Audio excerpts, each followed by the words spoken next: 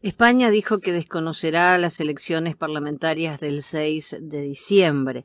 El Ministerio español reiteró que no reconoce ni el régimen de Maduro ni las elecciones parlamentarias, por no garantizar principios básicos democráticos.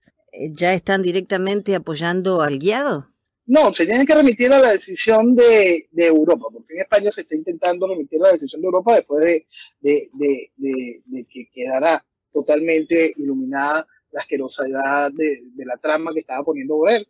Entonces, era tan descarado lo que estaba haciendo Borrell en nombre de Europa, este, y después lo ocurre hacia el nombre de España, que logran después taparearlo con esto. Tienen que mostrar una posición muy europeísta. La posición europeísta es desconocemos a el régimen de Maduro. Lo desconocemos. Es ahí la otra parte de la mentira del cuento. Porque lo cierto es que, como hemos conversado en más de, una ocasión, para el gobierno de Maduro, para el chavismo, no tiene ningún tipo de importancia lo que ha sucedido con respecto a este, esta situación de desconocimiento o reconocimiento de, guiado. ¿Por qué? Porque básicamente se reconoció al guiado, que era una cosa imposible, una cosa absolutamente ridícula, y que gracias a que se revele más, más, lo del fraude, quedará, certificado que no tienen ningún tipo de legitimidad, porque como hemos sostenido en cualquier cantidad de ocasiones, en este país no existe nada, absolutamente nada que cuente con legitimidad, menos esta ridícula Asamblea Nacional. Entonces, en, cuando todo esto se esté cayendo, pues ahorita, cuando lleguemos ya a, a enero y Maduro juramente en la Asamblea Nacional a la nueva asamblea que salga de la cochinada hará el 6 de, de, diciembre, los otros saldrán a mostrar por el mundo de que ellos cuentan con el apoyo del pueblo y que recibimos una orden del pueblo para poder mantener firme las banderas de... Y el país seguirá perdiendo el tiempo en eso. Lo importante es que nada de eso en realidad tiene mayor importancia para lo que viene. Y lo que viene vuelve al inicio de lo que estábamos conversando con respecto a los Estados Unidos y el fraude el fraude. Y perdona, Jenny, si me saco de, este tema para darle la vuelta hacia este lado. En las declaraciones de Sidney Powell, este, se utiliza la palabra seguridad nacional. Los intereses alteran los intereses de la seguridad nacional de los Estados Unidos. Volvemos al hecho de Venezuela como amenaza y todo lo que se analiza con respecto a eso. Lo que viene para Venezuela puede superar por mucho los límites de la imaginación, porque mañana podemos ser declarados país enemigo, país enemigo. Gracias a nuestra irresponsabilidad, gracias a haber avalado voto a voto a los camaradas del gobierno, gracias al tratado de democracia a un proceso de tiranía Nosotros pasamos de aquello que yo referí en un artículo en el año 2008 de ser catalogados como patrocinantes de terrorismo a ser posiblemente país enemigo. Hay que entender la dimensión de lo que eso significa.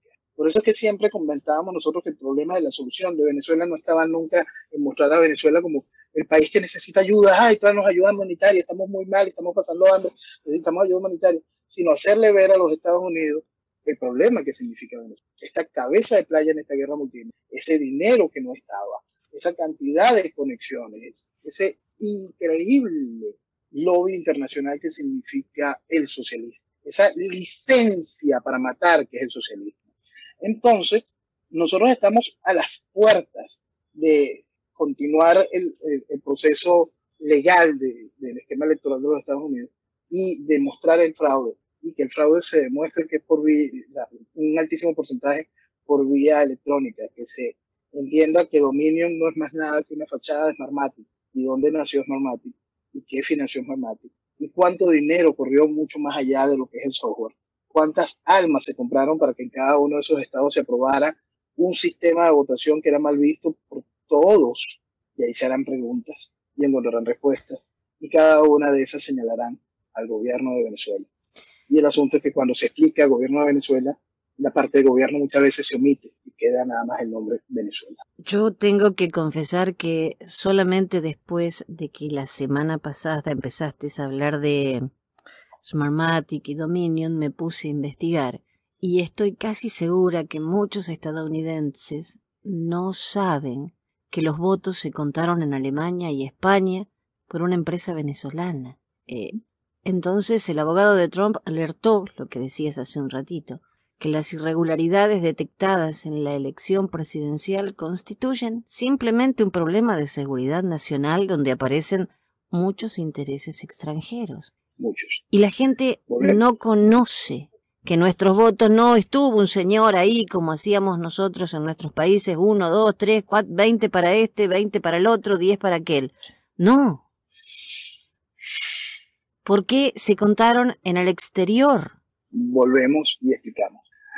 La revolución es una sola. Este inmenso entramado gigantesco de intereses en esta guerra multidimensional contra Occidente, en específico hoy hacia los Estados Unidos, en específico en la figura del presidente Trump, como repetimos en más de una oportunidad, escudo y espada en esta guerra, este, es realmente grave.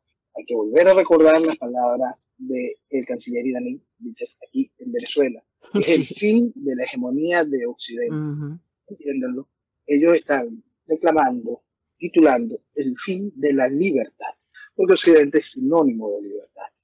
Entonces, cada vez que se burla y se banaliza o se refiere este asunto simplemente a un hecho electoral normal entre partidos en lo que está sucediendo en los Estados Unidos, es realmente vergonzoso pensar que esa persona de clase en una universidad o que esa persona tenga referentes u oyentes o que esa persona haya tenido algún tipo de ejercicio político relevante. Es algo realmente doloroso porque uno nada más piensa hacia abajo el daño que han venido haciendo durante todos estos, durante todos estos años mucho, mucho daño.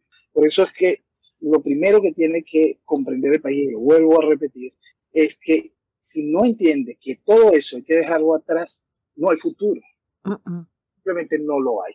Entonces, si el mañana de Venezuela, como nunca, porque siempre Venezuela, el destino de Venezuela ha estado ligado al, al qué hacer de los Estados Unidos. Y para eso es tan importante recordar un punto fundamental y, y sería muy bueno explicarlo como, como deuda de lo que significa la libertad y Occidente. El petróleo de Venezuela alimentó el esfuerzo aliado. Mucho del logro del esfuerzo aliado para poner fin al proceso revolucionario nacional socialista, el proceso nazi, fue gracias a Venezuela, gracias a la riqueza. La riqueza de Venezuela sirve para el, para el bien y ha servido para el mal. Por eso es que Venezuela nunca debe estar a la deriva. Por eso es que Venezuela tiene que dejar de ser el problema y ser la solución del problema de nuevo. Venezuela como unidad territorial, quienes jueguen a facturar a Venezuela en, pedazos, lo que están buscando es aún muchísimo más revuelta en el continente, muchísimo más desgracias. No hemos visto nada para lo que la revolución tiene planificada, sino se le extrae de raíz en nuestros países. Noel, es también difícil para el venezolano, de repente que no está actualizado como, como estás vos, cuando ve que, por ejemplo, Mario del Valle Moronta Rodríguez ahora se rasga las vestiduras y habla de Irán que coloca base de operaciones en Venezuela. Me pongo en el lugar de ese venezolano que de repente se entera de esto y no va para atrás y no se acuerda que este señor bebía los vientos por Chávez. Bastante daño hizo Moronta, bastante daño hizo Moronta desde el público. Que por fin esté diciendo de manera tardía una realidad que uno vive declarando desde hace mucho tiempo. Este, la única ventaja es que lamentablemente ese personaje tiene eco, tiene reconocimiento. Y todavía, lamentablemente, la gente lo respeta a él, más allá de respetar a una institución que está tan golpeada, lamentablemente, como la Iglesia Católica.